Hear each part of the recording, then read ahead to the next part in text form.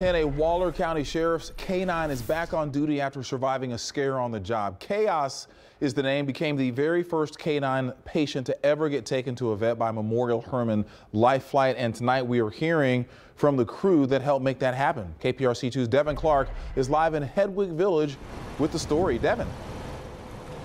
Keith Chaos, the K9, has been to a lot of different scenes, but it's likely that neither he nor his handler ever imagined ending a shift here at an animal emergency hospital. But after things got pretty heated earlier this month, this is exactly where he landed, thanks to some swift thinking.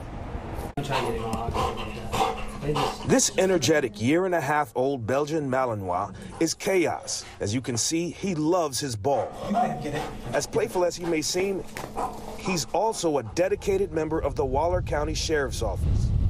A shift on July 7th proved to be a bit too chaotic for chaos. Officials say the K9 tracked a shooting suspect early in the day. He rested for several hours before being assigned to find a hit and run suspect that evening. Around 9 p.m., it was still very hot, and having been searching through tall grass with no breeze, chaos collapsed. His handler, Deputy Chris Luchek, immediately called for help. Well, when the call first came through, um, a little bit of panic. um, this would be our first flight with uh, a K9.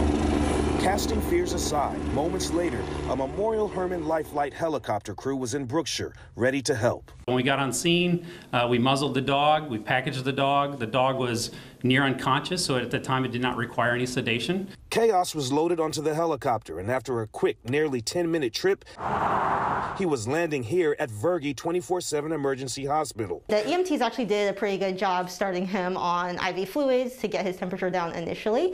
Uh, once he got here, we ran kind of our baseline diagnostics, uh, making sure that his organ values were okay. Thanks to quick action, Dr. Crystal Chan says Chaos showed immediate signs of improvement. After a thorough checkout, he was released. And now.